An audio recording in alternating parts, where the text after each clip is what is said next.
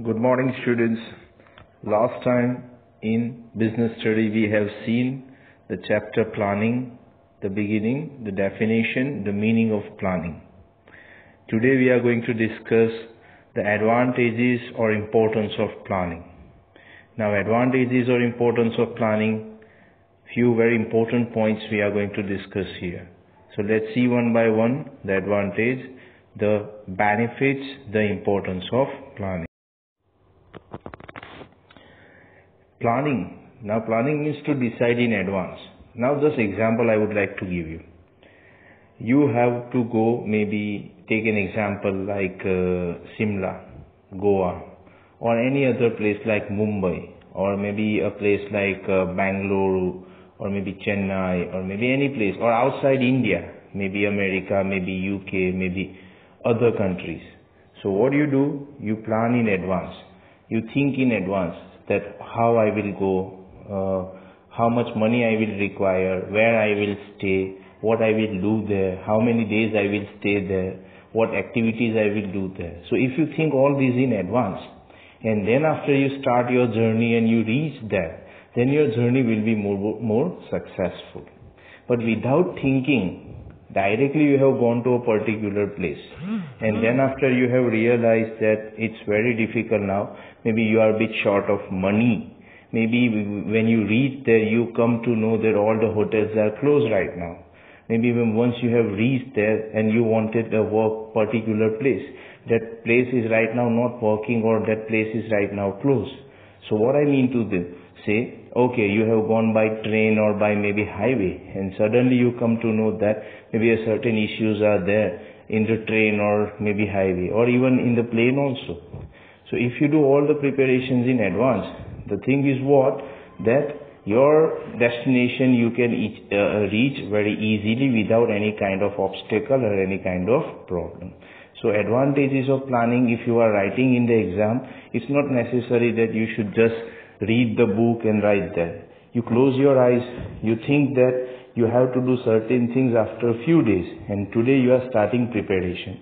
Take an example, you have the marriage at your home. Now what we do, marriage may be after 2-3 months, but we start the preparation 2-3 months in advance so that at the marriage day everything will be perfect. So this way we are writing the advantages of planning for the business also. The first advantage of planning is planning provides direction.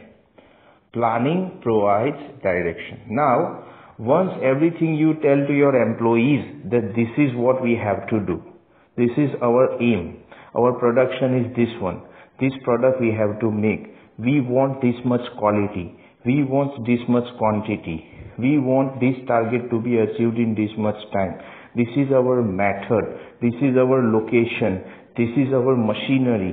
These are the people with whom you have to work. These are your subordinates. These are your superior. This is your accountability. This is your authority. This is your responsibility. All the things if you tell to the workers in advance, then they can easily, easily just move to that direction and can easily work in a proper, efficient way. By chance, if employees not have any idea, then they will be confused what to do and what not to do. So in advance, if we inform to employees, our workers, that this is what we have to do, how these things we have to do, where these things we have to do, what is the way that we have to do these things, all the stuff, all the things if we tell to our employees, then there will be no problem in future. अगर हम हमारे employees को advance में ही बोल देते हैं कि ये आपको करना है ऐसे करना है। इतनी क्वांटिटी हमें बनानी है। इतनी, ऐसी क्वालिटी हमें चाहिए। इतने टाइम में टारगेट पूरा करना है। अगर यही सारी चीज़ें हम एम्प्लॉयज़ को एडवांस में बता देंगे तो वो अपने डायरेक्शन में, अपनी दिशा में से easily without any kind of confusion वो आराम से काम कर सकते हैं। So this is what I say planning provides direction to entire business. Second point of advantage is planning reduces the risk and uncertainty. मैंने आपको पहले भी बोला है कि सपोज़ एक एग्जांपल दे रहा हूँ कि हमें मुंबई जाना है एडवांस में अगर आप एडवांस में तैयारी कर लेते हैं तो शायद बीच में जो प्रॉब्लम्स आने वाले हैं या मुंबई जाने के बाद जो प्रॉब्लम्स आ सकते हैं वो कम हो जाएँगे क्योंकि आपने एडवांस में प्रिपरेशन कर लिया है similarly in the business also in the company also, if you do everything in advance, if you manage raw material, if you manage transportation properly, if your location is perfect, if your quality is sure, if your quantity is sure, if your working method is sure, then uncertainties can be reduced. Listen, uncertainties are having two types. One is man-made uncertainties and one is a natural uncertainties. Natural uncertainties को दुनिया का कोई इंसान avoid नहीं कर सकता। लेकिन जो मैन मेड अनसर्टेनिटीज है एग्ज़ाम्पल दे रहा हूँ कि भाई पाँच दिन बाद दस वर्कर काम पे ही नहीं आए। आपका प्लानिंग पहले से था ही नहीं। आपने प्लान किया ही नहीं था। क्यों आपने पहले से पाँच या सात वर्कर एडवांस में आपने स्पेयर में नहीं रखे? और अब पाँच वर्कर काम पे नहीं है तो आपका पूरा प्रोडक्शन स्टॉप हो सकता है। और एक बार दस पंद्रह दिन बाद। आपको पैसों की बिज़नेस में ज़रूरत है। आपने एडवांस में पैसे बचा के रखे नहीं है रिज़र्व में रखे नहीं है तो प्रॉब्लम हो सकता है। तो ये सारी अनसर्टिनिटीज है। तो आपको इसके लिए चैलेंज में पहले से ही रहना पड़ेगा। सपोज़ इन प्रेजेंट सिचुएशन जो अभी कोरोना की वजह से। काफ़ी बिजनेसेस हैं ऑलमोस्ट 95 परसेंट बिज़नेस बंद पड़े हैं। अब उन्होंने पहले से प्लानिंग कर रखा होगा, जिसने भी किया होगा, कि भाई हमें फ्यूचर में ये प्रॉब्लम्स आ सकते हैं। जिसने प्लानिंग किया होगा, वो इस सिचुएशन में भी कंपनीज़ को कोई इश्यू नहीं होगा। But the companies which have not plan properly now facing this problem then may be they will have a huge issues in upcoming days So that's what I say. Planning reduces uncertainty also and risk also. Now point number three. Planning reduces overlapping and wasteful activities. now what i mean to say overlapping and wasteful activities ka matlab hota hai sometimes we have limited resources we have limited transportation we have limited raw material we have limited workers we have limited uh, other resources, transportation, we have communication limited resources are there, we have limited machinery, everything we have and more important we have limited money. So now different ways are there by which you can use all these things. Now what I have to do in advance, I have to use all this in the best way. Best way, first I have to just keep 5, 6, 7, 8, 10 ways in front of me. Now what I will do by this money, by this machinery, by this material, what is the best way that I can use in my business so can I, so that I can get maximum profit. I have 100 rupees in my pocket. I went to market. I can go to hotel also for eating. I can purchase something for myself also. I can donate it to someone. So what I mean to say, I will just think about best use of that 100 rupees. Similarly in the company also, best use of resources should be there. But this is only possible if you plan in advance. If you plan in advance, you think about different areas where you can use that kind of resource. And then ultimately you will resource, uh, use the, that resource in such a way that you will get the maximum satisfaction from that. Second thing is what? That control will, will be there. What I mean to say, let me come to another example right now. you have a budget of some, something like 5 lakh rupees, a certain event like marriage is there at your home and 5 lakh rupees is your budget. Now you will use that 5 lakh rupees in such a way that in between if any wastage is there you will stop that. In between any kind of misuse of that money is there you will stop that because you have the limit of 5 lakh. You cannot go beyond that. Similarly in the company also in advance you know that this is my limit, this is what I have so you will uh, use that kind of resource in such a way that if any kind of misuse is there, if any kind of wastage is there, you can just avoid that so that your business will not be suffer for that purpose. Okay. Planning promotes innovative ideas. Now innovative ideas means something new you have to think in your business. A creativity I am talking about. So in the business, Planning requires a lot of thinking. Planning is an intellectual process. So what I mean to say planning is not that early morning you wake up and you think something and you do that. That is not planning. That is only thinking. Planning means that think a lot and better option you select. So what I mean to say, higher authority, executives, many other concerned people will be sitting together for many days and then different ideas will be collected from them and best idea will be selected.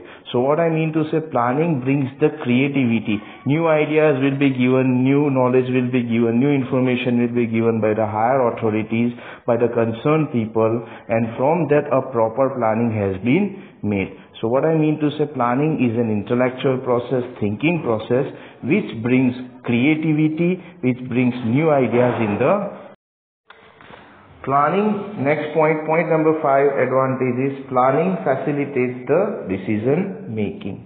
Now planning as I already said that we think something in advance and then after we try to go for different alternatives, different options.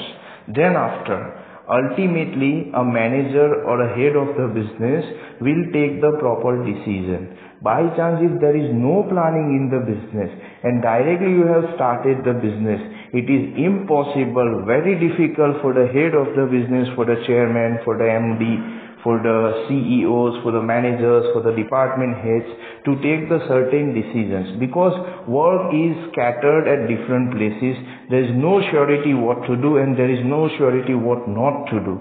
So confusion is always there. But when there is a proper planning in the business, a person particularly related to the business authority I mean to say, they can easily take the decision without any kind of confusions. So that's why we can say that planning is also help the business to take the proper decision. Now point number six, the last point is planning establish the standard for controlling. Now in planning what we do, where we are right now and where we have to reach. So in between that whatever process is there we have to complete it perfectly. This is what our standard performance is there. This is our actual performance is there. And this is what we want right now. So what we have to do, suppose I am standing right now at uh, one particular place like uh, maybe Surat and I have to go to uh, maybe like uh, Baroda or Ahmedabad. So from Surat to Ahmedabad that is my destination. So beginning point is Surat, ending point is Ahmedabad. So in between that, workers have to work in such a way that at a proper time, in a proper way, you should reach to Ahmedabad by chance. Four hours are given to you to reach from Surat to Ahmedabad, but you reach in five hours. So it means that one hour extra you have taken. That means corrective action is required. Second thing, you have reached maybe to uh, Ahmedabad maybe in less than four hours, maybe three hours, maybe three and a half hours, that is okay. But the car you have taken, the bus you have taken, the vehicle you have taken got punctured two, three times or maybe additional maintenance cost is there right now. So business have to tolerate extra expenses there. So what I mean to say that business wants two things effectiveness also and efficiency also. Both the things business requires. So what I mean to say here is that planning in that what, what is your actual position where you want to go and where you are right now in between that. Suppose after reaching to the destination in the business, after doing the entire production, suppose if your production is up to the mark, perfect, without any kind of disturbance, without any kind of uh, miss, uh, I can say that uh, conduct of any kind of resources or anything like that, then what I mean to say, the work is absolutely perfect. But suppose if your work is not up to the mark, you have to make thousand shirts in one month in the business. Now you have made only 900 shirts in one month. That means your target is not achieved. Second thing, you have made 1000 plus shirts in one month. That is absolutely wonderful. No doubt about that. Your target is achieved. So where the target is achieved, no need of any corrective actions. But where the target is not achieved, the performance is not up to the standards, then corrective action must be there. So that's why we can say that planning establishes the standard for controlling. These are the six points of advantages of planning. I hope you all got it clear. Now next time in BS we are going to see the disadvantages of planning. Thank you very much. Have a wonderful